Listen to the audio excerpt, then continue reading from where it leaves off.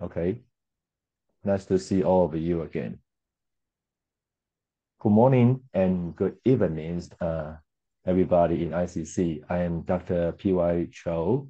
Today, I am the uh, moderator for this webinar with my partner, co-moderator, Dr. Junior Tu. Today, we are so happy to invite Dr. Jordan Stamberger. Jordan Stamberger is a pediatric plastic cranial maxillofacial and orthodontic surgeon within the divisions of pediatric plastic and reconstructive surgery and serve as surgical director of the craniofacial program at Nicklaus Children's Hospital. Dr. Steinberg earned his medical degree and a doctorate in neuroscience through the medical scientist training program at Johns Hopkins University School of Medicine in Baltimore, Maryland. Dr. Stamberger then completed an integrated residency program in plastic surgery at Northwestern University McGaw Medical Center in Chicago. Following this, he pursued a fellowship in pediatric craniofacial surgery at the Children's Health Care of Atlanta. His clinical interests include cleft, lip, and palate, congenital facial skeletal growth disorders and syndromes, craniosynostosis, ear anomalies, jaw deformities requiring corrective surgery, ear anomalies, and pediatric skin and soft tissue lesions.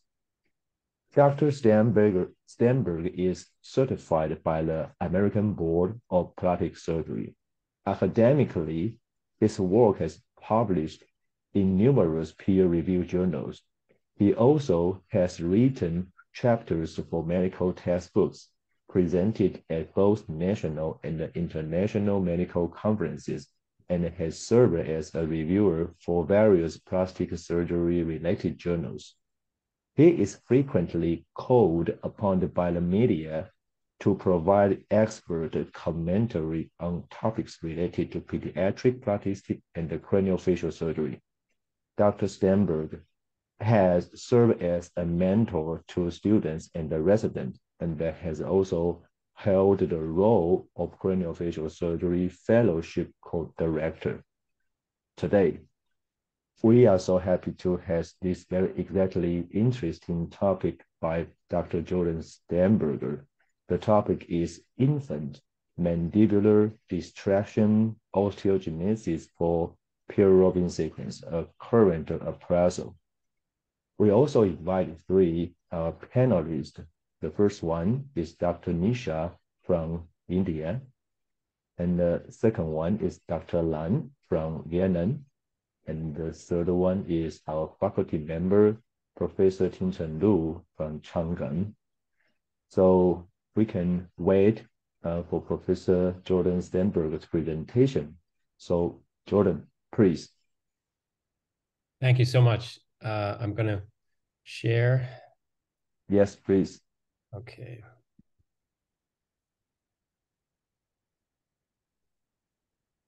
Okay. Is it coming up okay? Yes. Excellent. Thanks very much for, for the opportunity. This is a wonderful webinar series. And as my friends uh, know, I have been joining along, I think, since the beginning of the COVID period, and it's been uh, very informative. So I'm I'm very pleased to have the opportunity to present. Um, I work in Miami, Florida, which, as some of you know, has a long history in craniofacial surgery, going back to Ralph Millard, and then my uh, current, uh, recently retired partner, Dr. Tony Wolfe. I'm going to talk this morning about infant mandibular distraction, and I know this is something that is uh, handled and treated quite differently uh, from one country to the next. Uh, and as we were briefly talking this morning, there was quite a bit of discussion at last year's International Cleft Congress in Scotland about this. So I hope to give a review this morning and then show you a little bit about what our preferred techniques are and then save a little time at the end for some questions. I don't have any disclosures for this work. I will be talking about a distraction device from KLS Martin, but I don't have any financial arrangements with them. So I'm going to begin this morning with some background on Pierre-Robin sequence and what it is. We'll talk about the indications for surgical treatment. I'm going to review some surgical treatment methods and then talk about some outcomes of distraction as well as some complications. And then we'll finish up with some questions that I think are unanswered questions in this field and possible topics for future research. There were very early observations of infants with small jaws or micrognathia going back to the 1800s. And the uh, textbook uh, that Pierre Robin wrote from France in 1920, uh, 1923 uh, has gotten a lot of uh, attention. And uh, as many of you know, the Pierre Robin was a French stomatologist, and he described a triad of retrognathia, glossoptosis, or tongue that falls back into the airway, and then upper airway obstruction. The original description, and you see some diagrams from that uh, book in the lower left corner, uh, did not include a cleft palate. However, many patients do have a cleft palate, uh, about 85% or so. But the original triad was retrognathia, glossoptosis, and upper airway obstruction. And so uh, just a short video clip, if a infant has these features, uh, you may see some respiratory distress in the form of retractions, sternal retractions, a small jaw, and then other supports, as in this infant where you see a nasal cannula, high flow cannula, as well as a feeding tube. So you can see those movements there. Um, the incidence of Pierre-Robin sequence is about one in 8,000 to one in 14,000 live births. And uh, therefore, it's not a very uh, uncommon condition. We do see it uh, quite often. Now, as I mentioned before, it does not formally include a cleft palate, but about 85% of patients will have a cleft that tends to be wide and U-shaped and you can see from this photograph that's taken from the time of palatoplasty that sometimes the palate repair will be delayed uh, for one reason or another relating to the patient's a medical condition. And you can see the teeth here. So this is an older child and quite a wide uh, VO2 cleft palate. During development, around eight weeks or so of embryology, the tongue descends in the oral cavity, and that then allows the palatal shelves to fuse together in the midline. And if that process is interrupted because, let's say, the jaw is too small and the tongue does not have room to descend in the oral cavity, you can have this series of events. And that's why we now call it an embryologic sequence, Pierre Robin sequence, rather than the previous name of Pierre Robin syndrome. There are many associated syndromes with Pierre Robin sequence. These are a few of the more common ones. For example, Stickler syndrome or 22q deletion syndrome. Uh, but there are some 400 or more uh, syndromes for which there has been some associated micrognathia or retrognathia. So whenever we have an infant with Pierre-Robin sequence, we want to be thinking about genetic testing because there are frequently these associations.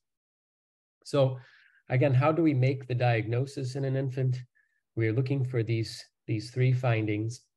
And there's been a lot of discussion about how to uh, identify and how to formalize the criteria for Pierre-Robin. And this has been a topic for several international meetings, the first of which was organized by Corstiaan Breugem in the Netherlands uh, in 2014. And now there have been two more international Pierre-Robin consensus meetings the last one uh, just occurred this year because it got delayed from COVID.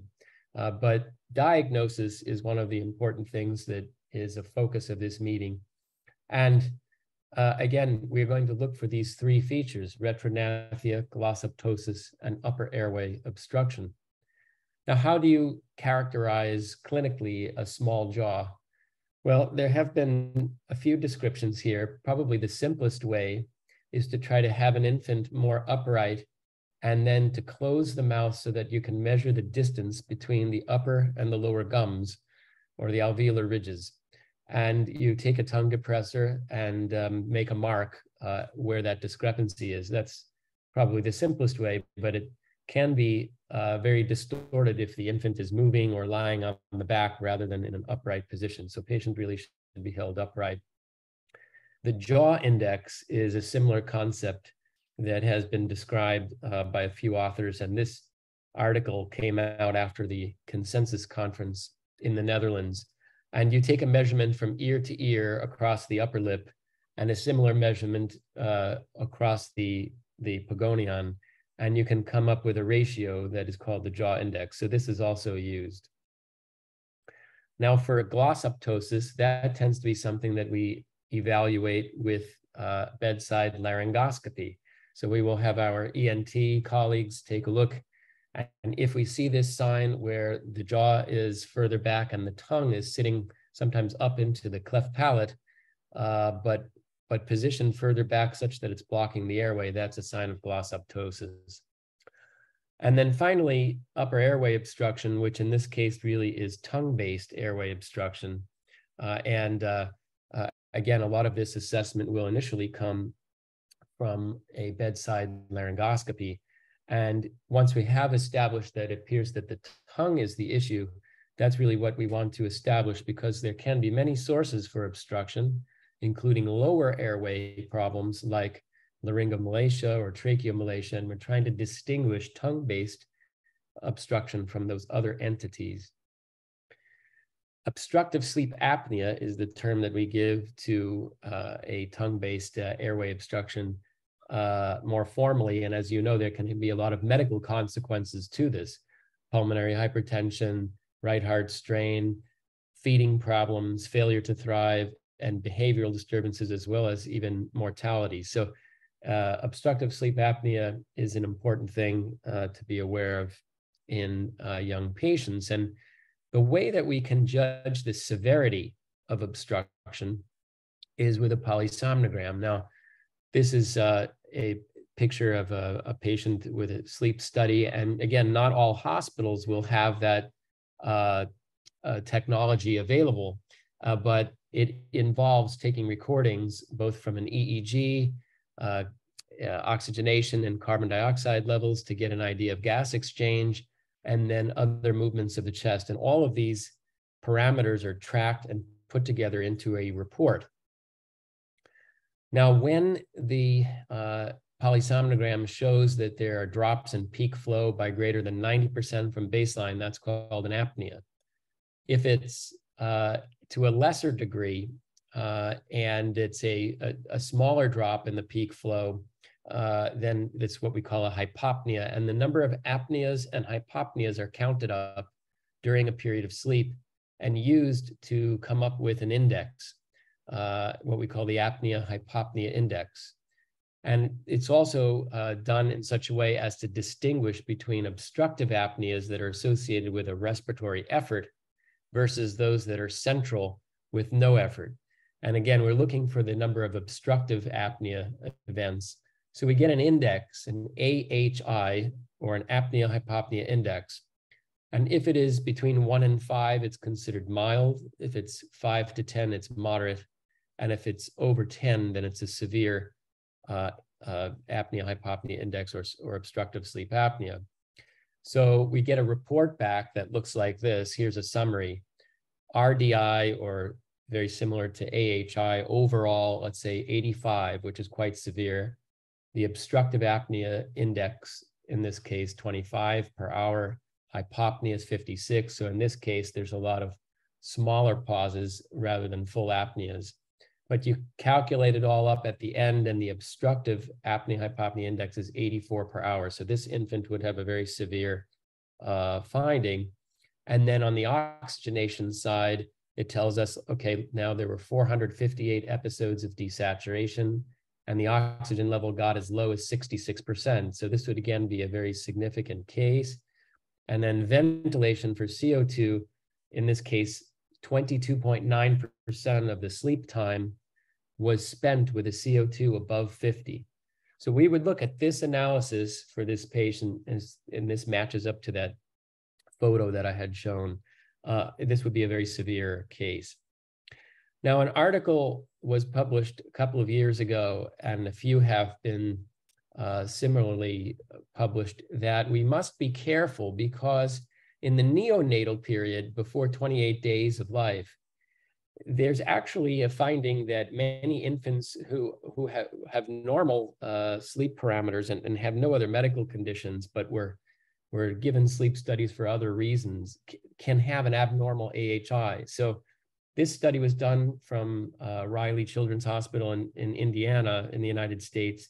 And they found that in a normal sample of, of NICU babies without uh, Pierre Robin sequence, that they had an average AHI of 14.9, which again would map to a severe case. So, you know, it's not just the AHI that we have to look at. We have to put all the pieces together because, especially in the neonatal period, there can be a number of factors that give you uh, not so much apneas, but hypopneas. So uh, we're putting all of the pieces together to evaluate the test, not just one number. And again, this same point was made in a paper last year about normal sleep parameters in neonates. So we look at, uh, at the whole picture. Uh, Mark Urata's group uh, in uh, California has also described the use of single capillary blood gas measurements and a PCO2 value from the capillary blood gas of 50 or above, 49.5 or above, uh, had uh, pretty good sensitivity and specificity for identifying those patients that would later go on to need further interventions like distraction surgery. So if you don't have access to polysomno polysomnography, capillary blood gas measurements, which are easy to obtain, can be a good way to evaluate as well.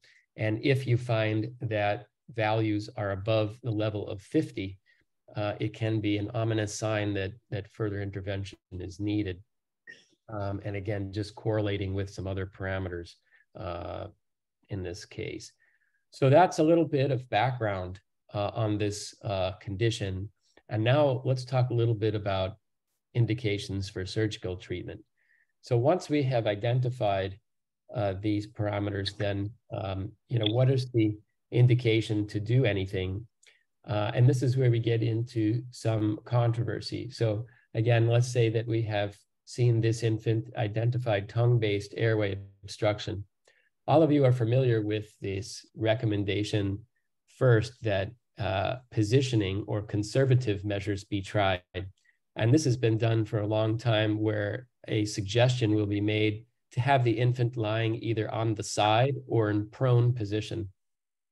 There are also other ways to try to get around the oxygenation and ventilation issues, such as the use of nasal cannula, nasal trumpet, uh, or a nasal CPAP devices. And these have been used in different centers to different degrees certainly the prone positioning is one of the things that is most commonly recommended uh, as a first maneuver. And a couple of groups have looked at this. This is, uh, again, on the top part uh, from Urata's group in California, evaluating just how effective prone sleep is. And then there was another group from France. And the findings are that there seems to be some reduction uh, in the degree of uh, or in the number of events, but they really didn't have statistical significance. And there's concern because, as you all know, uh, there has been a campaign for several decades to make sure that infants don't sleep in the prone position because of a 15 fold higher risk of sudden infant death syndrome. And so, even though in the hospital and in a monitored setting, we can put infants on their uh, on their stomachs and sleep in the prone position, uh, we're not so comfortable making a recommendation that parents take a baby home and do prone sleeping. Uh, home monitors, for example, are not as uh, reliable as what we have in the hospital. So there's controversy about this and just the general effectiveness of repositioning or prone sleeping.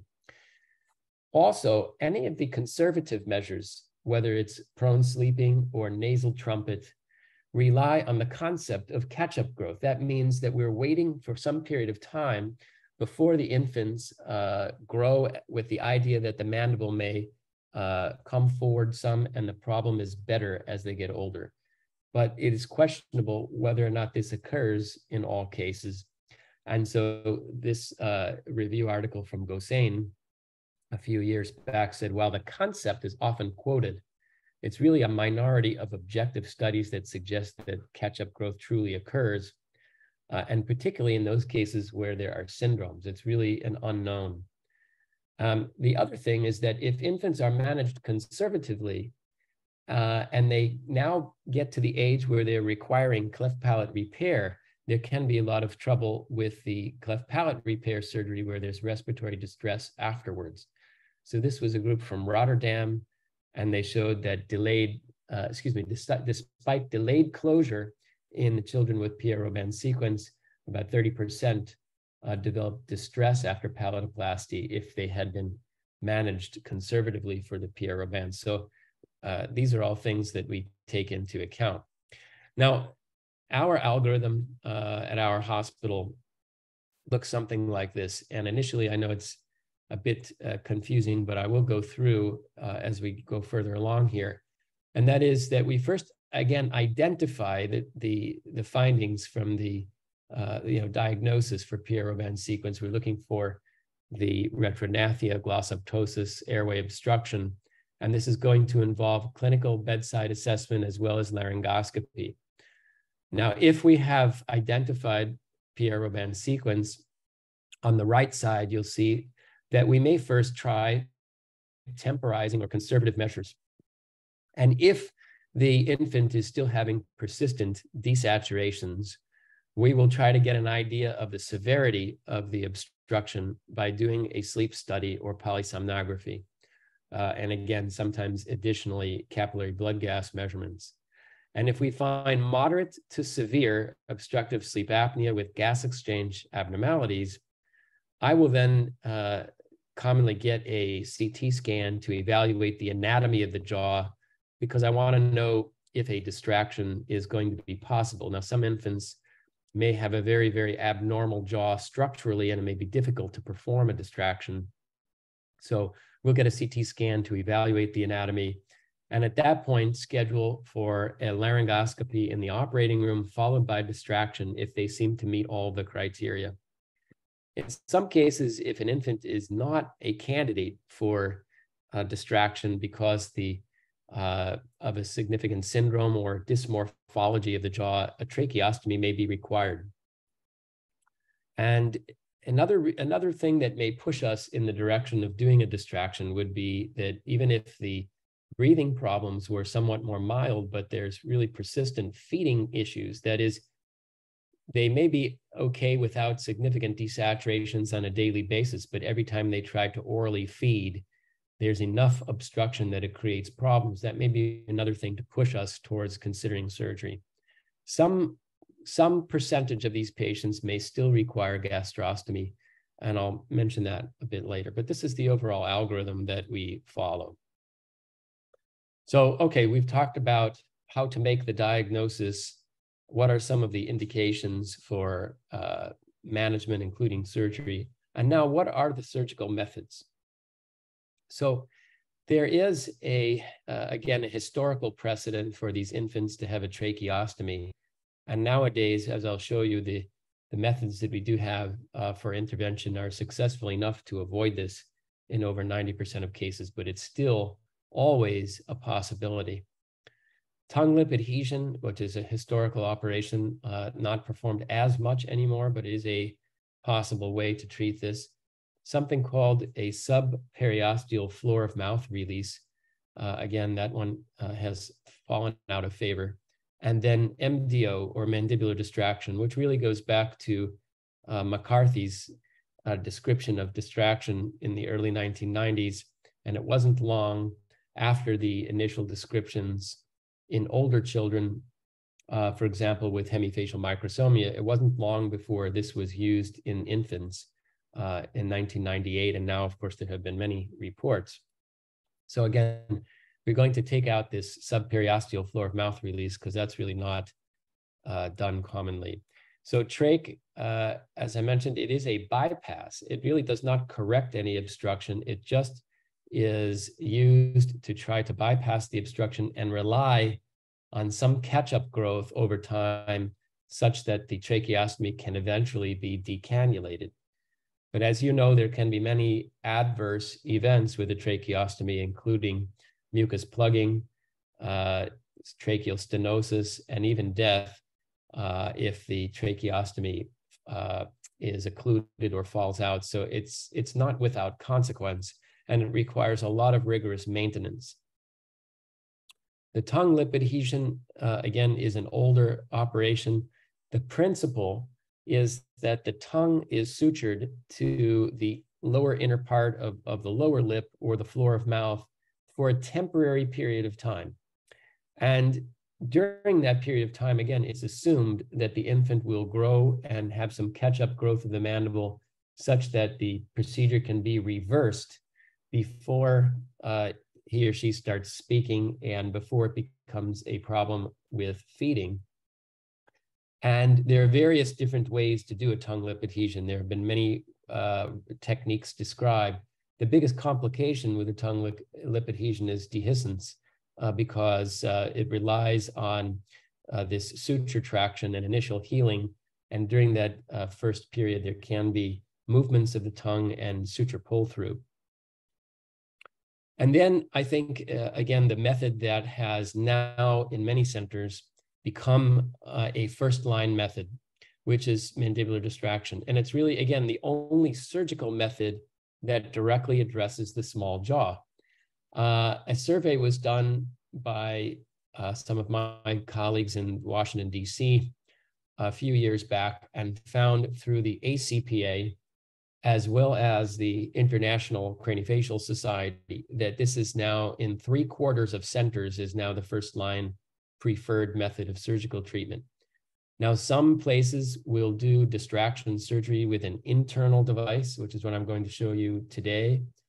Uh, others will do it with an external device that has pins that go through the skin into the mandible. And there are, even with internal devices, there are different ways to uh, to structure it, whether the turning pins come out uh, more distally by the chin region or whether the turning pins come out behind the ear. I like to do it in this way here where the turning pins are exiting behind the ear uh, and those spots heal up quite well without any real visible scar uh, later in time. I use a internal, uh, it's called a distal end driven device from KLS Martin uh, that is available both in 20 millimeters and 30 millimeters. And for some patients, we need the longer one because we have to go a, a longer distance to make up for the discrepancy. Uh, and so that, uh, for me, is an individual decision based on the anatomy. I'm going to play this video just demonstrating our technique here. Infant mandibular distraction osteogenesis with a 30 millimeter device. A submandibular incision is made half to one finger breadth inferior to the mandibular angle region. Dissection continues subcutaneously until the platysma muscle has been identified. The platysma muscle is then undermined with a clamp and the fibers divided with electric electrocautery. Dissection continues subplatysmally with blunt spreads paralleling inferior border of the mandible. The safety of the dissection is aided with the use of a nerve stimulator to protect the marginal mandibular branch of the facial nerve. The Pterygomasseteric sling is then identified and divided, and subperiosteal dissections performed to expose the mandibular angle, ramus, and proximal body regions. Once this has been achieved, the distractor is assembled in the back table. The device is brought over the field and aligned on the inferior border of the mandible in the desired vector, which is horizontal.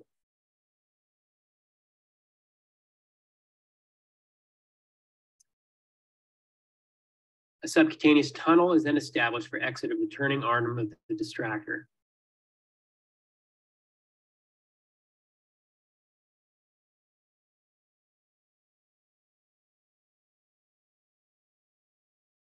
14 French suction catheter is cut and delivered through this tunnel into the incision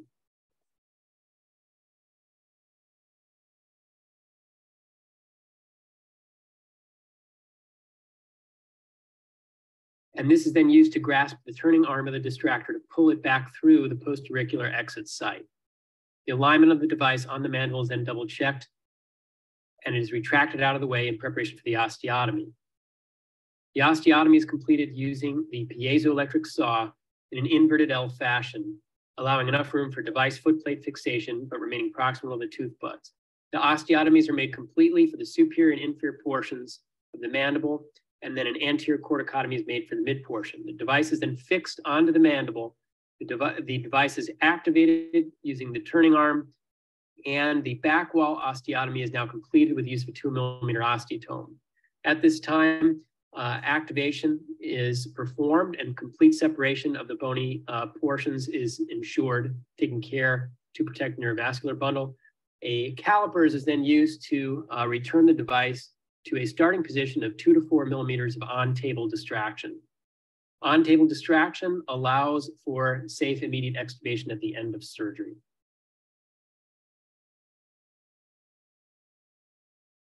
In okay, so um, I mentioned at the end of that video that our protocol allows for two to four millimeters of opening right immediately after surgery.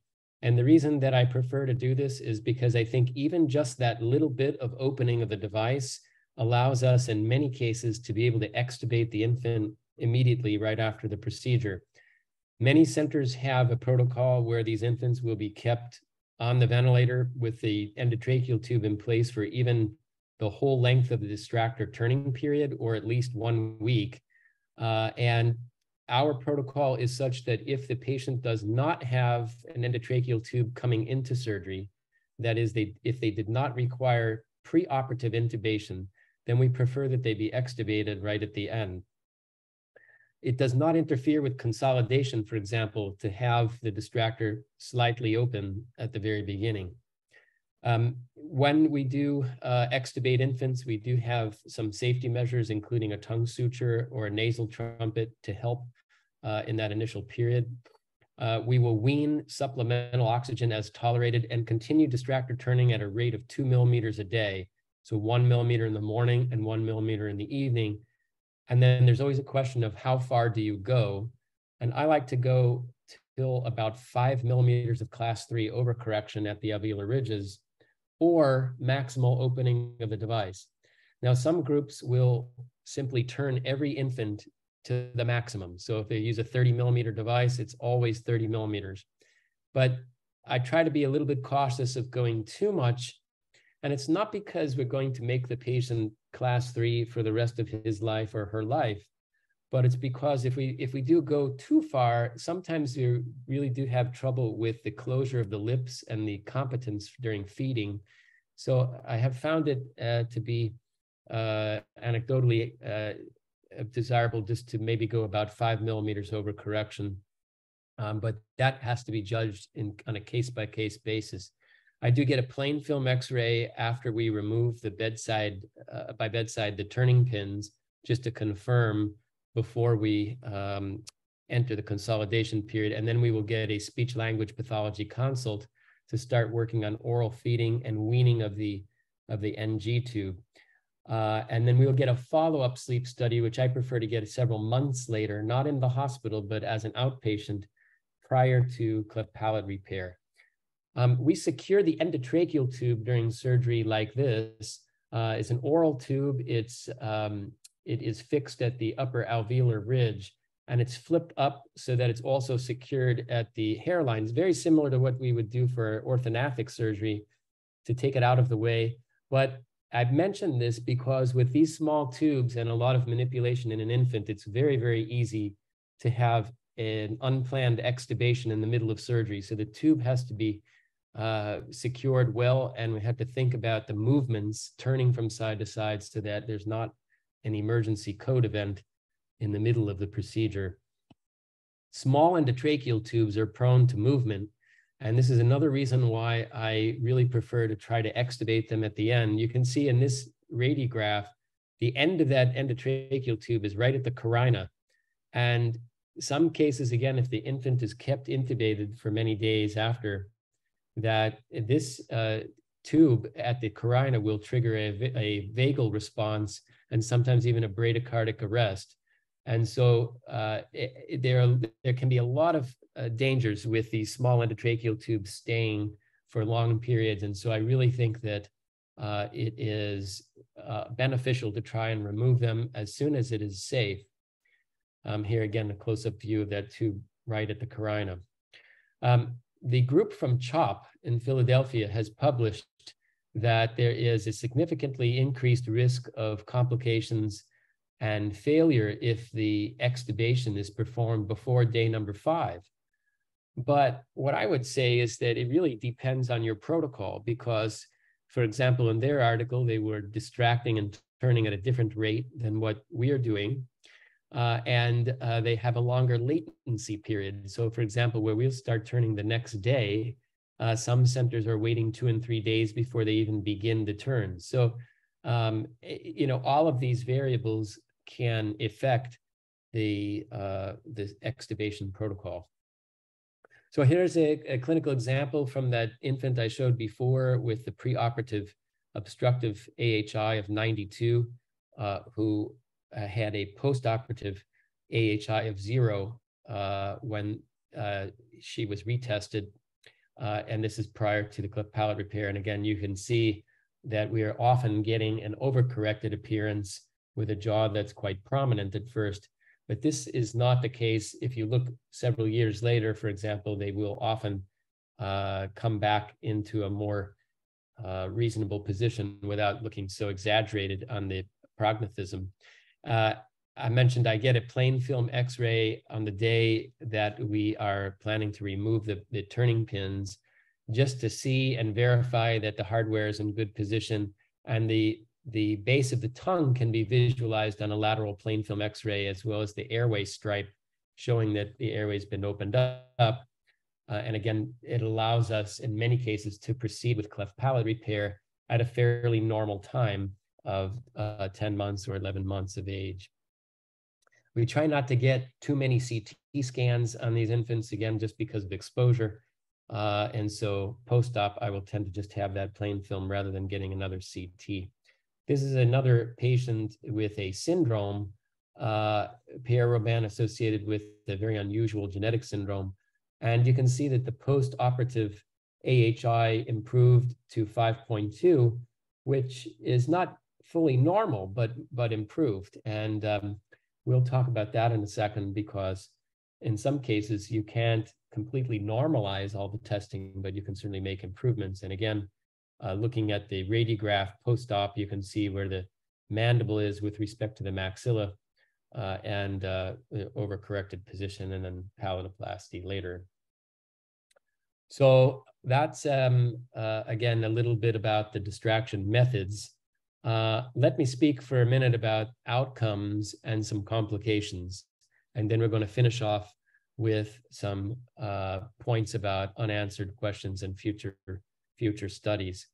So if you look across the literature about mandibular distraction and you evaluate success in terms of avoiding a tracheostomy, all of the studies pretty much are showing that it's highly effective. And the success rate of avoiding tracheostomy is usually somewhere in the 90, 95% range, uh, which is what these, these authors have shown if you look at the uh, the outcomes uh, as well uh, in this article, which was from a, a group uh, at Indiana, similarly, just like it's effective with avoiding tracheostomy, it's also very effective in improving obstructive sleep apnea. And here, only a small percentage of patients that had residual severe obstructive sleep apnea. As I mentioned, though, you may have a case where the infant is not severe anymore, but we get from a severe state to a mild state. So, one question is if I've improved the situation uh, so that there's now only a mild sleep apnea and AHI of 5.2, um, you know, is that considered as a, a, success? What is the definition of success? If we have an infant that has to go home from the hospital still with a little bit of oxygen, is that a success? And so everybody has a little different opinion on what the endpoint is supposed to be. I think we can all agree that when we're talking about tracheostomy, avoiding a tracheostomy is certainly a fine goal. But once you start to get a little finer than that, there's a lot of disagreement. If you look at feeding outcomes, there's also a lot of success with distraction. Uh, several authors have looked at this as well. About 82% in this study at one year after distraction were feeding orally, 100% uh, orally. And um, this, we also know that distraction seems to be much more effective than the tongue lip adhesion, which a lot of uh, groups were doing in the past. And now, as I mentioned, many have switched over, both because of uh, the obstructive apnea and the breathing, as well as the feeding. So whether it's breathing or feeding, it seems that the distraction is a very effective operation and superior to the tongue lip adhesion. Uh, several groups uh, have looked at what is happening to the shape of the mandible with a distraction. Because in Pierre Robin's sequence, the jaw is not quite normal in terms of its appearance. It tends to be a, uh, a wider, shorter ramus. The angle is a little bit different than controls. And when you distract, you tend to make a, a jaw that is much longer in terms of the mandibular body length, but the ramus is still shorter. So a few groups have looked at this and trying to evaluate what is the best uh, you know, morphology in terms of getting airway improvement, or can we use this to predict how the operation should be performed? A couple of the authors that have looked at this, uh, Derek Steinbacher, who I know has spoken recently in the, in this webinar, and then uh, surgeon Russell Reid from Chicago.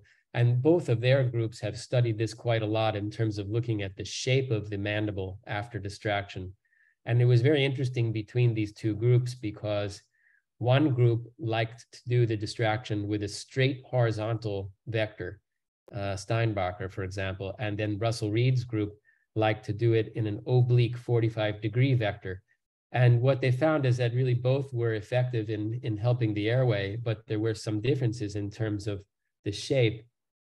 So we really don't understand all of these different details and what is happening three dimensionally to the airway, uh, you know, and how to take that information and correlate it with the success. It, it I, the point from all of these slides is to say that even with all of this analysis, it's still really clinical decision making uh, trying to look at the infant with the symptoms and then afterward evaluating how those symptoms have improved. But we don't have all of the answers to make all the predictions yet. Um, a couple of years ago, I looked with my group at the laryngoscopy outcomes and the difficult airway label. As you know, patients uh, will uh, be graded by the anesthesiologist, whether they have grade one, two, three, or four airways. And we were curious to see what the uh, change was. And in fact, most patients uh, who have, say, grade three or four airways at the beginning will go to a grade one after distraction. Yeah, this was a three centers. We looked at this uh, a couple of years ago when I was still at Hopkins.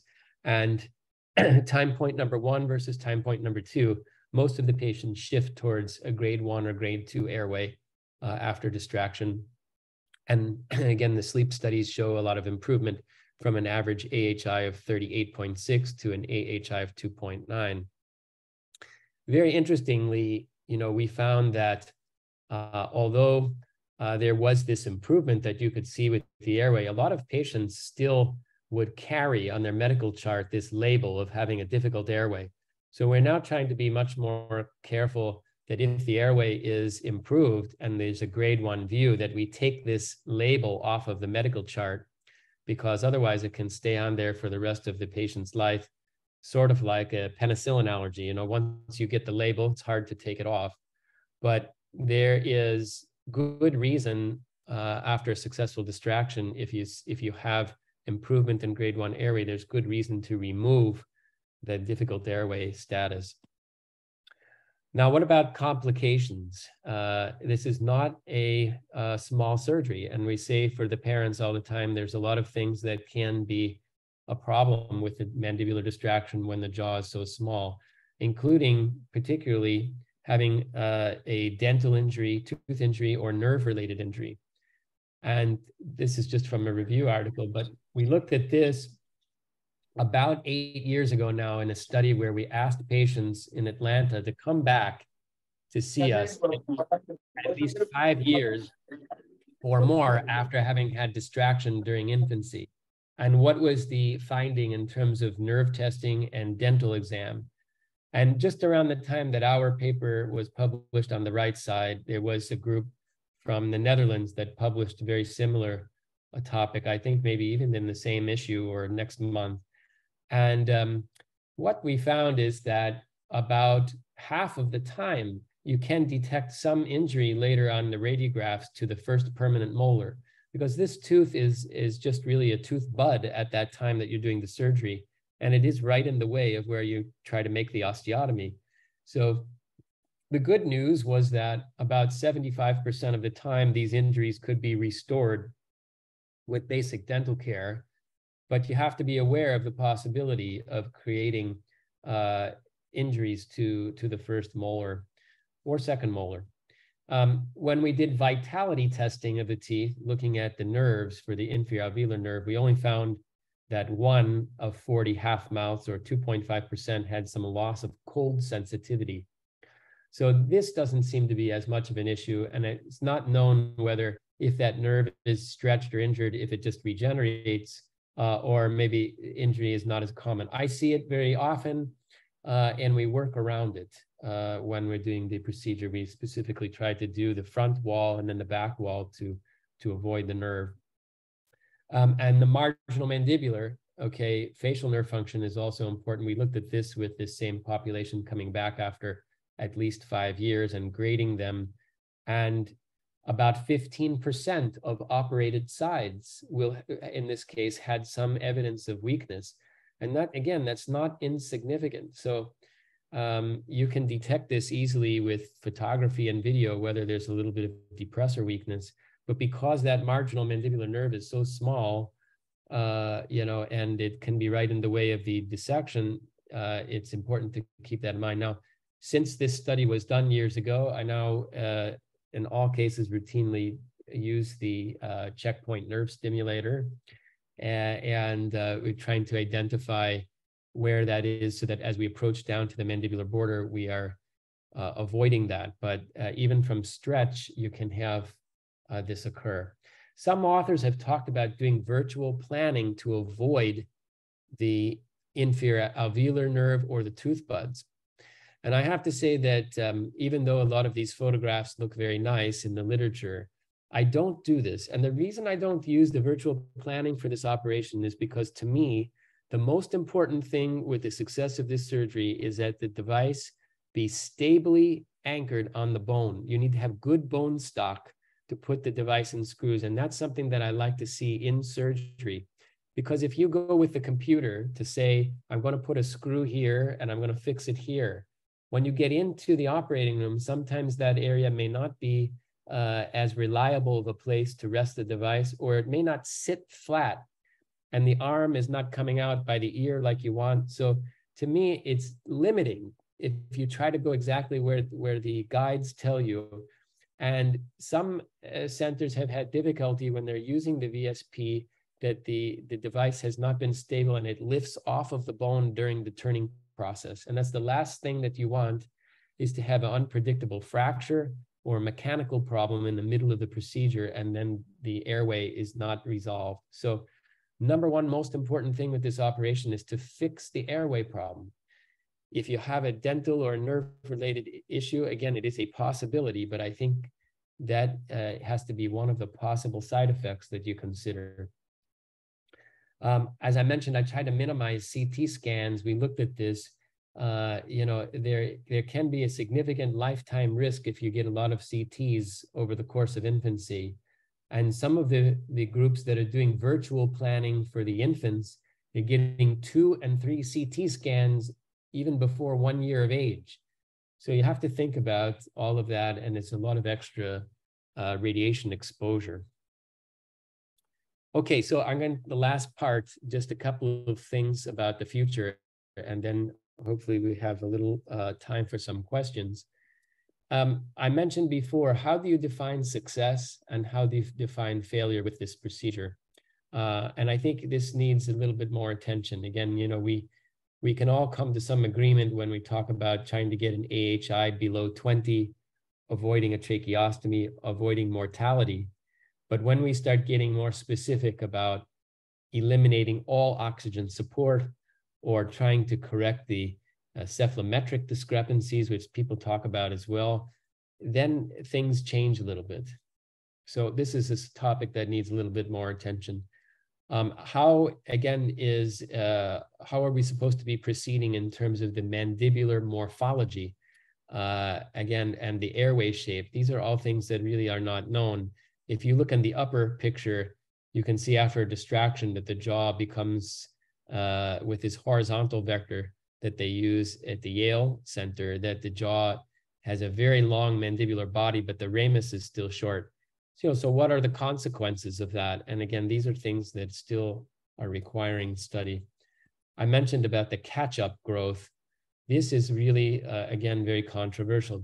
Do babies with syndromes have catch-up growth to the same degree as an isolated Pierre Robin sequence? Um, you know, it, these things are really not uh, not known. Um, in Scotland, in Edinburgh meeting last summer, uh, the group from Germany in Tübingen, Germany, presented their data on what they call the TPP. This is the Tübingen palatal plate, and it is an appliance that gets inserted with an extension that's specifically made to go down into the vallecula, and it's placed with endoscopic guidance. And they've had a lot of success for infants without any surgery to place these appliances and then months later have improvement uh, with, with a very good degree of success, but it requires a lot of skill and then the ENT expertise to help uh, place the device with the extension, the spur extension endoscopically.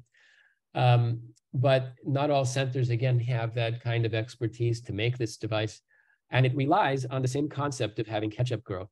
So it can be very patient dependent as to whether uh, there are other factors that will allow the child and the mandible to grow during that period enough to avoid further treatment. And then also monitoring and ICU care. You know, in some countries, it may be acceptable that an infant stay in the hospital for several months with PRON sequence for monitoring. In other cases, uh, the health system may not support that. And so distraction may be a better choice. Uh, as I mentioned, these are all topics for this Pierre Robin consensus meeting. Uh, the last one, again, I think was several months ago, and I don't know when the uh, the fourth meeting will be. Uh, but uh, there's a lot of uh, unanswered questions in this field, and so I'm going to leave leave everyone with that. Thank you very much for the time. If there's some questions, I'd be happy to try to answer those. Okay, thank you so much, Professor Steinberg, for your um, fascinating lecture on this topic. Now, um, I'd like to move on to our panelists first. So I'd like to invite Dr. Murali Nisha. Would you like to comment first? Sure, thank you.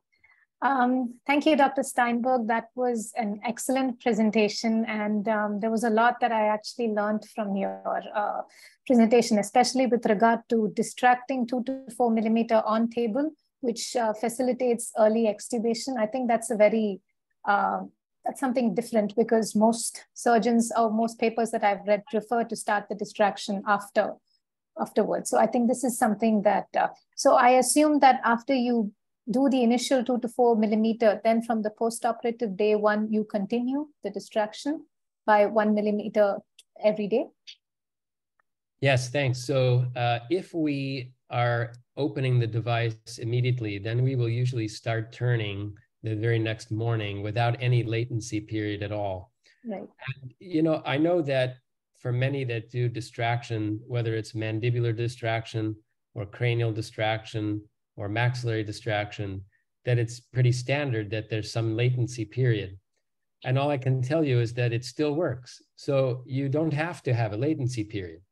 Um, and, you know, I, I have not seen any cases where we've had a non-union or issues like this. So, you know, because of the, the, the airway, you can make more rapid progress uh, by having it open a little bit and then starting the turning early. And especially if you did not extubate the patient, you know, then I think you can get maybe with just a few days of uh, intubation and before you consider uh, with the neonatology team taking the tube out because you're already that many more millimeters ahead. Whereas with the other protocols, you wouldn't be there until one to two weeks. Right. Yeah. I mean, yeah, that makes sense. Thank you. And um, have you had any experience using bioresorbable uh, distraction devices? I've read about them, but I'd like to know if you have any experience with that. I do. I do. Um, and not so much on my my personal practice. Uh, I've been in practice eight years, um, but uh, when I was a fellow at, in Atlanta, about half the patients were done with resorbable devices and half the patients with the titanium, and that was a surgeon preference. And what I can tell you is that the the resorbable system, and in the U.S. there was only one manufacturer that was making that, and and it works, and you can get, I think, enough improvement to uh, to to get over the airway issues initially. But I feel there's a limit to how far you can go with the resorbable device because at some point, the forces required to keep it on the bone, you know, are are sort of uh, um, exceeded by by the tensions and the pressures in the soft tissues. So you, you get to a stage where maybe you've gone 12, 14, and then if you if you keep trying to go more, you get into high, higher risk of mechanical problems where the resorbable plates can lift out of the bone. It just doesn't have the same strength, I think. And so a lot of uh, places abandoned that or you know just weren't using it anymore. So for a more limited length of distraction, um, a mild case, uh, it does have some advantages. You don't have to go back for a second operation. And I think that you know, when we're talking about the marginal mandibular nerve and scar tissue, you know, all of these things can be reduced risk if you have a resorbable system potentially. But uh, the titanium systems, I think, are more reliable for the internal. Great. Thank you so much, Dr. Steinberg. Thank you. Thank you, Dr. Nisha. And next, I'd like to invite Dr. Lan. Hello, um, I'm Dr. Lan from uh, Vietnam. National Children's Hospital. And uh, at um, our hospital, uh, we have uh, from 20 to 30 case of uh, Robin sequence, uh, and I mean severe case of Robin sequence every year. so I have two questions for you. the first question is um, how to decide the vector of distraction and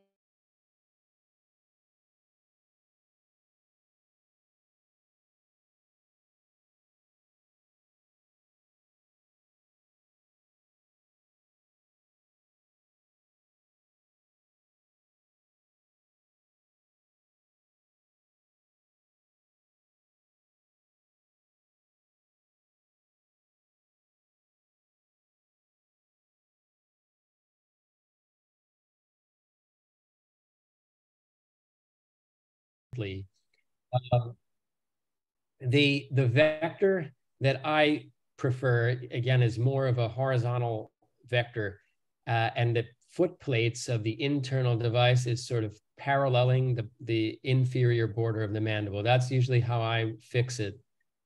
If you go more vertical or oblique, and some people do, again, I think you can get still some uh, improvement in the airway volume.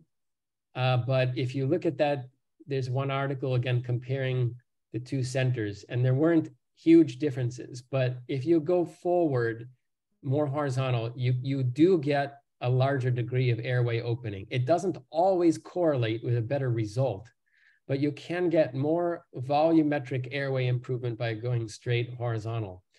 Um, and again, all of the patients will come back a little bit over time. We're not doing this surgery to correct a uh, class two cephalometric profile. But because they all come back, when we looked at these patients more than five years later, the ones that have more of like a horizontal vector, because we had two surgeons in this study, one would do one way, another one would do another. But they do have a better profile also if you have more of a horizontal vector and you really overcorrect to that class three position. So again, we're not doing it for the for the appearance, but I think that both the airway improvement and the appearance uh, is is a little better with a horizontal vector. So that's how I prefer to do it. And then the osteotomy, again, you, you want to just do it in such a way that you can fix the device on good, stable bone. And so for me, that again, I make an inverted L, but it's not exactly the same place every patient. It just depends on how I can position it so that I can really fix it well, um, you know, in good, stable bone. Um, it's better not to be too far anterior because again, then you're really going to have higher risk of getting into right into tooth buds and and the, the area where the nerve is more obvious. So you have to balance all of those things. And then second part about the tongue lip first, um, yes, it, it is certainly an acceptable way to proceed. Uh, and um, you know, in some patients, if you have improvement with tongue lip, uh, then maybe you didn't need the distraction. But it's getting back to that question again about the catch-up growth. So a syndromic yeah. patient, syndromic patient, maybe will not have that much growth of the mandible to get you improvement with the tongue lip. So it, you have to evaluate all of the medical factors as well. Yeah, thank you very much. Uh, can I have one more question? Uh, we have some case, uh, some case of uh, hemifacial microsomia, uh, but they have a problem with the upper airway. Uh, can you do mandibular distraction one side when they are in neonatal times or not? Yeah, thanks. So another very good question, and I I would also invite my colleagues from Chang Gung to comment on this, but you know, I have really moved away from doing early distractions for hemifacial microsomia patients. I really don't like that anymore. Um, I don't think the results are long lasting, but the question is for airway. Um, I would have to say that in a lot of cases, if there's a is there hemifacial microsomia and there's very significant airway problem, many times we are trying to encourage the tracheostomy uh, and waiting until they're older because those are patients, uh, both hemifacial microsomia and Treacher Collins, where you're just not likely to be so successful with the distraction. And you you can create a lot of problems uh, with, uh, you know, further ankylosis and scar tissue. You, some of you may remember we had the lecture by Richard Hopper uh, a couple of months ago on the Treacher Collins, and he made this point as well, you know, for the infancy, there's some conditions where I think it may be much more problematic to try to do a distraction as an infant. And you may really create a lot of problems for later. Yes, understand. Thank you very much for the sharing. Thank you. Thank you, Dr. Lan. And regarding this question, I'd like to invite Dr. Liu, who, who is also our next panelist, to give us some comments. So uh, actually, the for the hemifacial microsomia, that's I also have the same questions for you. so, um, but you, I, I think you already answered to me, like to us, that it's not suitable for the mandibular distraction because we have uh, several uh, syndromic patient. So how about the Nager syndrome, like Nager syndrome with a very small jaw with um, so do you, will you use the mandibular distraction? Yeah, so thanks. I, I think it's, that is very similar to the Treacher Collins again. So you may get a CT scan, evaluate the anatomy, and you see that the jaw is small and it's further back. So the question of can I make enough improvement in the airway to do a distraction now? Um, and those are cases where in the past, maybe we said, okay, we'll try it and see if we can get enough improvement. But I really today have a different feeling about it from what uh, these others have shown us, which is that the success rates for for anything other than mild cases, the success rates for a lot of those very complicated mandibular anatomies are just not great. And so they may still need a tracheostomy in the end.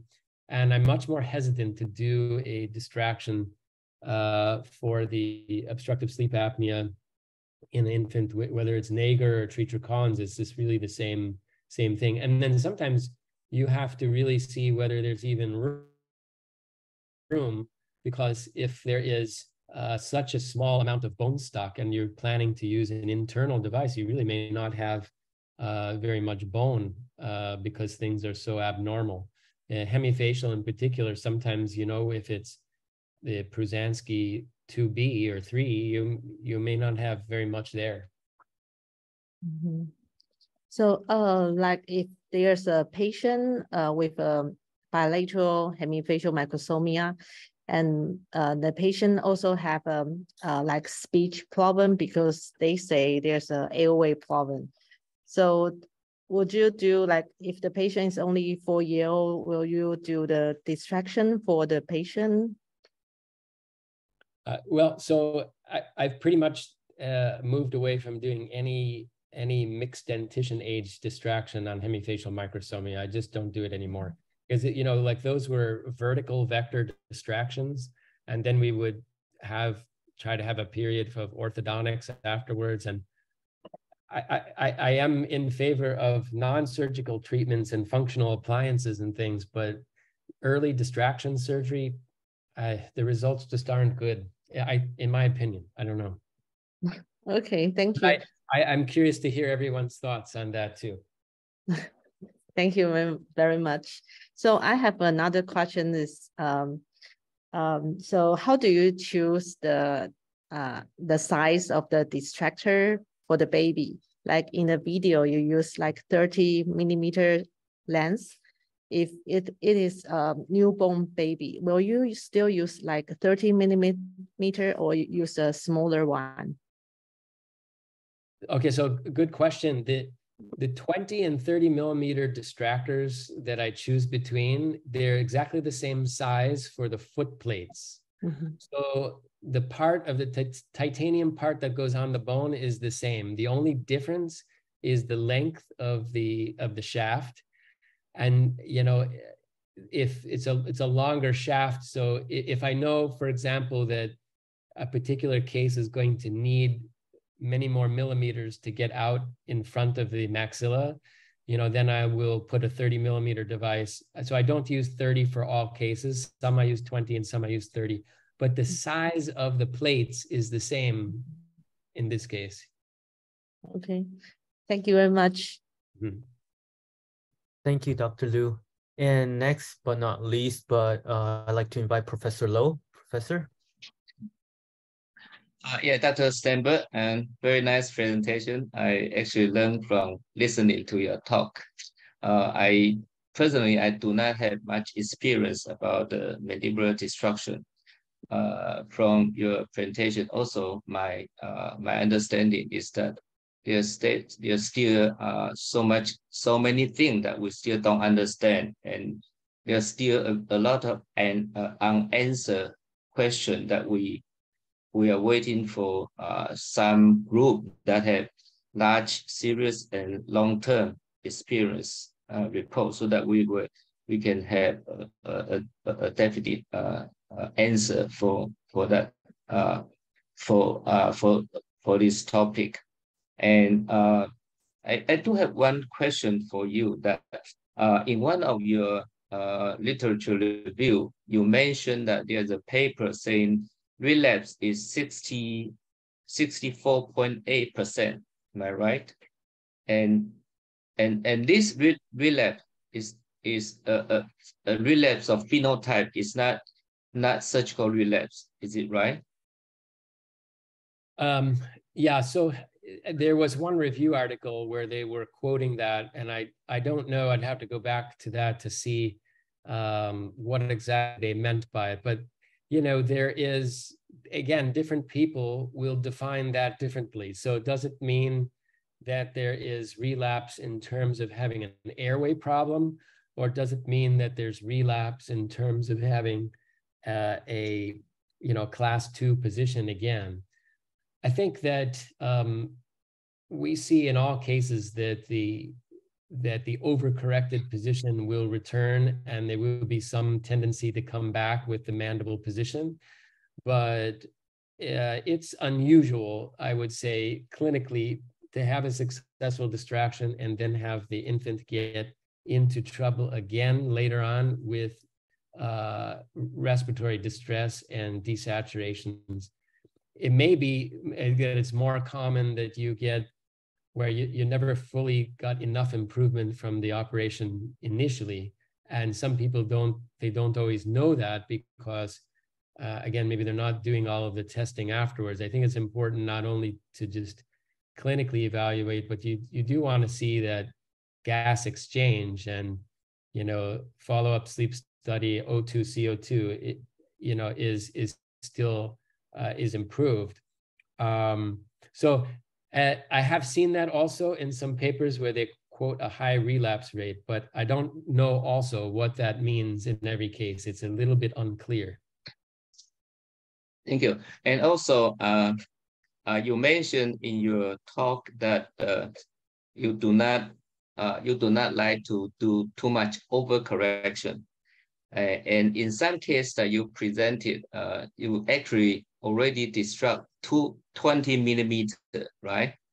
To me, that's already a lot. And also, if you have a device that can allow you to do more destruction, you're not going to do that. You you you will stop and you know at some point that that you feel happy. Am I right? Well, it's it, it's a good question. So my my friend Dr. Urata in in Los Angeles. So every baby 30 millimeters. That's the that's their protocol. and I'm not saying it's wrong because again, you know, I think the studies show, and he just published a paper, uh, I think maybe within the last two or three months, and what they say is that if you go more, it's better. That there, you know, that it helps the airway. The more yeah. you go, the more you go, the better you are. But what I'm saying is that may be true, but you have to think not just airway. There are some other things too. And when I when I talk to the feeding therapists, they will look at the patient and, and evaluate when they go to take the bottle. If you go so far, you know, they can't even close the lips together. And so, you know, there is some balance. Uh, they will all come back a little bit, but I don't always go, you know, uh, to the full length of the device. I would say most time, if I have a 20 millimeter device, I will go to the end to 20 in many mm. cases, unless it's mild. But I use the 30 millimeter device, not always to 30. Sometimes it you can create other problems. Uh, and, and a lot of those other problems have to do with feeding and oral feeding. Yeah, because uh, in my in some of my experience, I feel that if I do destruction, I will do as as much as possible. Mm. You know, for example, if I do the full three destruction, if I do uh, you know, to the limit of my device, I will do as much as possible because uh, very soon you feel that uh, you, for example, the relapse that we just talked about, that could be uh, relapse to the phenotype, uh, you know, uh, so a, a crucial uh, problem relapse. So, but th this is maybe the the difference in philosophy, in concept. That mm -hmm. uh, for for me, I would prefer to do um, as much as overcorrection as as possible. I will tell you also, you know, there are parents that I talk to them and I explain, you know, we need to overcorrect, and they say, "Well, doctor, I don't want you to go anymore." because I, I don't like, I don't like the way he looks. He, he looks very very strange. He's going to stay like this. I don't like the way the chin looks. I said, no, no, it's not going to stay like that. But sometimes they, the parents get very concerned that the, you've made the child look very strange. Okay, so yeah, yeah, but be, because uh, overcorrection doesn't uh, last too many too many year more. Correct. Then very very quick, you will see uh, that the baby, that the patient still have need uh, another bone surgery in, in the future. But anyway, thank you very much for your yeah. uh, presentation. Very uh, very nice talk. Thank you. Thank you, Professor Low. And next, I guess we'll go to our Q&A session. So the first question is actually from our good friend Bernard. And the question is, what is the incidence of airway associated anomalies such as tracheomalacia or tracheostenosis? And how would this affect the outcomes of the MDO? Yes, thank you. Good question, good question. Uh, it is not uncommon to have some laryngomalacia, okay? I would say that on the bedside laryngoscopy, that it's it's not unusual to identify some. If it is a mild component of laryngomalacia, the studies have shown that that also has the capacity to improve with a mandibular distraction. And Roberto Flores from New York uh, has published a couple of papers saying that laryngomalacia should not be a uh, exclusion criteria for considering distraction surgery. Okay, but if we start to see that there is tracheomalacia and tracheal abnormalities, then for me, that's a concern. And that's why we're doing these tests with the laryngoscopy, bronchoscopy, because if there's lower airway subglottic problems, then it, should be something that changes our opinion. And, and then you could do a distraction and it wouldn't help because you still have tracheal anomalies. So you do have to evaluate for lower airway problems and exclude them before you go on to doing a distraction. Okay. Um, thank you. And our next question is from Dr. Monica. And the question is, is there a recommended age where you do the MDO or would age not be a factor at all? Uh, another good good question. Uh, you know, it really it can be done at any time point. Um, I have had some kids that, you know, they were on other supports like whether it's nasal trumpet or home oxygen or home CPAP, and now you know they're even just after a year of age but we're making a decision to go ahead with this to try to eliminate those other supports. So it can be done at any time. It's actually technically, I think it is a little bit easier to do in the neonatal period, even in the first month, than it is even three months, let's say, down the road, because the bone gets a little thicker. Uh, and again, you're trying to very carefully do the osteotomy around the structures and I think in the neonatal period, especially with the piezoelectric devices, uh, you know, it's uh, uh, it's even technically a little bit easier sometimes. So uh, there's any you can do it at any age. Um, I did the youngest I probably have done was a premature infant that was born at 34 weeks gestation and um, or no maybe it was maybe he was actually born before 30 weeks of gestation and then we waited about four to five weeks uh, and then did it, and it was even preterm. So that infant was only really 34 weeks of age at the time that we did the surgery. And for that case, I did have a, a 3D printed model made of the mandible. It was this tiny, tiny little model but I had the the company bring me the distractor and I just checked to make sure I could put the device on this little tiny mandible model just to make sure there was enough space to hold it. And there was, and we did it and it was fine.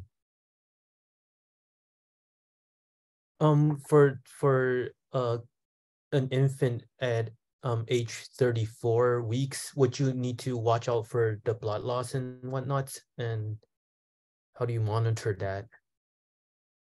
Um, so I would say all of those other factors were pretty much the same. The, the blood loss from this procedure is pretty minimal. Um, it can be done, I think, really quite honestly, with you know 10 ml of blood loss. It's not it's not a high blood loss procedure. Okay. And uh, our next question is from Professor Honda, and the question is, could you tell us a little bit more about the osteotomy technique of the inner table of the mandible, and how do we avoid the nerve injury? Mm-hmm.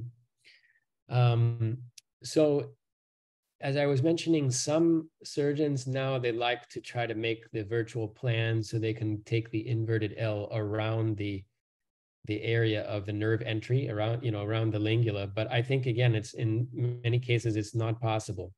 So you you can mark out the L, okay, but you can expect that in some cases you may still see it. But the way that I do it technically is we make the, the anterior corticotomy first with the piezoelectric saw. We go a little bit more completely at the very bottom border and then at the superior border by the oblique ridge. And then we fix the device in place with the screws. The screws are self-drilling and, and no, you know, we don't use the, the, uh, the, the hand drill, we just, just self-tapping, self-drilling. And then we start opening the distractor a little bit to get a little separation and then a reach from underneath the mandible to get the, the back wall, the posterior cortex with the two millimeter osteotome.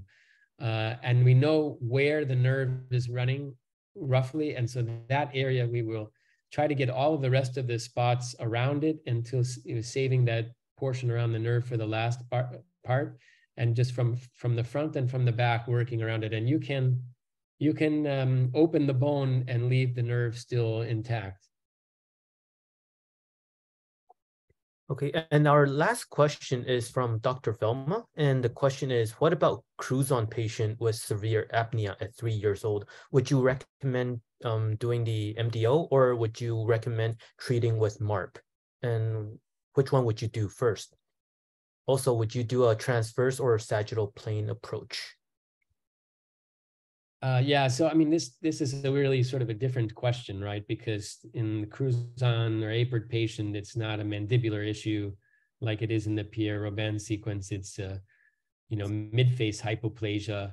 So really sort of a different different story. Um, and how I manage those patients, I mean, you know, I I, I think uh, uh many of us have the same struggles uh, with those patients. I, I would always prefer that we try to get closer to uh, you know say age nine or so before we're doing mid-face distractions. Um, you know my some of my colleagues uh, in brazil for example have, have had nice results in showing us that there's there's less much less likely to repeat doing mid-face distraction if we wait until eight or nine to do it. Um, there are cases where sleep apnea can be very severe earlier and and ocular exposure issues. So you know you may have some occasions to consider doing uh, mid-face surgery at a younger age, but you know that because of lack of growth after that, you're going to be almost certainly repeating it. So, I you know those cases are very tough, but that's a whole separate question. All right, thank you. And I guess that's it for Q&A. So back to PY. Yeah, thank you, juniors. And thank you, Jordan, for your very, very comprehensive talk uh, about the Robin sequence. Uh, I have one more little question about the German's devices that is non-invasive and non-surgical, uh, maybe the in instrument to a kind of a remodeling of the oral structure or kind of a device that pushing out the oral, maybe tongue and the lower jaw out day by days. I'm curious about how much it will affect about the condyle for last devices. Yeah. Yeah. Do you have uh, any this, any ideas? Yes. It's a, this is a very good question, and I I don't think we know. I mean, I I would have to ask their group if they've done any analyses because you're right. What it's what it is trying to do is promote more forward positioning of the tongue base. Uh, uh-huh. You know, and the idea is that the jaw grows with time, but um, you know, there's again, there's no surgery involved. So, I mean, I, I wouldn't think that you're going to get um, problems uh, like some people in the early days of mandibular distraction, especially if for those who are going more vertical, they would get, sometimes get problems with TMJ ankylosis after distraction. If you go more more horizontal, you tend to not have those problems. But with these appliances, I you know I don't know. I wouldn't think so, but I don't know what mm-hmm. or if they have analyzed what is happening to the shape of the jaw when you use this appliance for a year because uh, it stays in for I think for a long time. Okay. Yeah, I, I think all the result, the outcome we have to track for a long time, maybe a kind of inferior alveolar nerve injury or any kind of a molar teeth injury when we apply this kind of device to distal also to distractions. Okay, thank you very much again. And uh, I, I would like to invite all our participants today in the daytime or in the evening time to maybe turn on your screaming to show your beautiful smile uh, to maybe welcome the beautiful day for Dr. Jordan Steinberg because in Florida now I can say it's a very sunshine a very beautiful day for you. Uh, however, in Asia, we are almost going to sleep now. it's always unfair. But anyway, uh, thank you for your coming to this webinar with me and with uh, Jordan. And uh, thank you all our panelists, uh, even you are in Vietnam, in India, and in Taiwan. Dr. Lan, Dr. Nisha, and Dr. Ting Chen. Uh, I can advertise one more time for our next Sunday's the webinar topic. That is the toward evidence-based VPI, Rate of pharyngeal insufficiency the management protocol that will be uh, presented by Egypt's Professor Dr. Ahmed Al-Shabani. Yeah, so seven days ago, see you again. So now, please allow me to count to three and please show me your beautiful smile and then we can take a photo together. Please, one, two, cheese. Yeah, yeah, yeah. One more, one more, yeah. This is the lovely time I always like in ICC. One more time, I will count to three again. One, two, cheese. Very good. Thank you, in Philippine Putu, and thank you, Taka. Why are you walking there? Yeah, you should stay in front of a computer. Thank you very much, and uh, have a good day and have a good night. And thank you, Professor Jordan Steinberg, for your very wonderful presentation yeah, this is a very nice and interesting topic for all of us to learn. Thank you. Thank you, Hideki from Japan. Thank you, uh, IEC, and thank you, Professor Honda. See you next week. Bye-bye.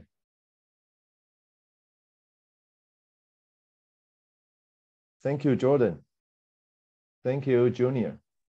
Yep, I'll see you tomorrow. Yeah, a tough week again. Yeah. Okay. 谢谢啦，Junior。Bye bye. Bye. Have a good night. Bye. Thank you, Watanabe. Mhm. Thank you, Borton. Yeah, I, I, we have to invite Borton to come be our panelist maybe next time. Yeah. Yes, definitely. Yeah. Bye.